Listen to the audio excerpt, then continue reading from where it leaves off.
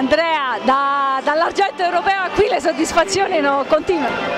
Sono due cose diverse, eh. qui siamo all'inizio proprio di una stagione per cui le squadre, sia noi ma la stessa Perugia, devono lavorare tanto perché soprattutto i sistemi di gioco vanno collaudati, vanno, bisogna lavorare su quello.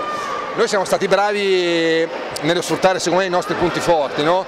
quello che poi ho chiesto ai ragazzi è stato trovare ritmo sul cambio palla, lavorare bene quelle seconde e terze rigiocate dove noi abbiamo dei bei attaccanti, per cui anche eh, Michele aveva la possibilità di andare a sfruttare questi giocatori.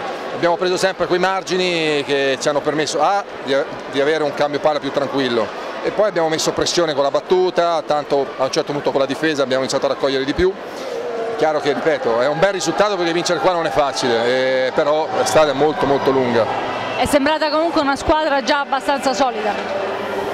Ma noi abbiamo secondo me alcuni, partendo proprio da Michele, abbiamo un palleggiatore che fa preciso, favoreggiare la palla.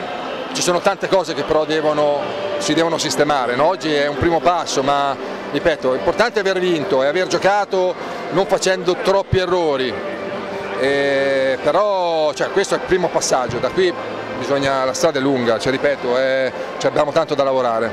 Le prospettive di Verona in questo campionato?